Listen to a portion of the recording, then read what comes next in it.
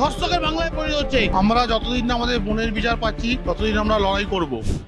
ময়দানে তিন প্রধানের একই স্বর justice for RG Kar justice for Joynagar justice for Kamduni. লড়াইটা যদি না থাকে অন্যায় আরও বেড়ে যাবে।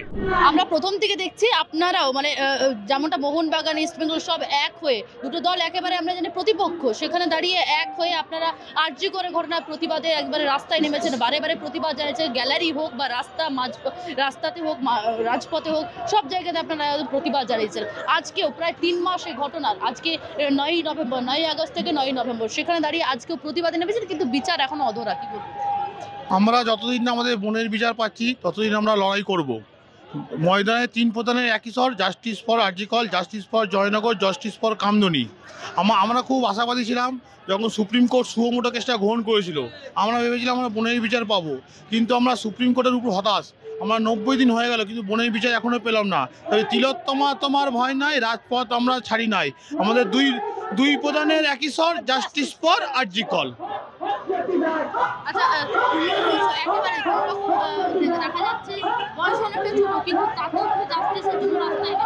এই যে আমার একটা দিদি আমার দিদি ধরি আমার দিদি আমার দিদি হাসপাতালে কাজ করছে তাকে এরকমভাবে ধর্ষণ করে খুন করা হতো।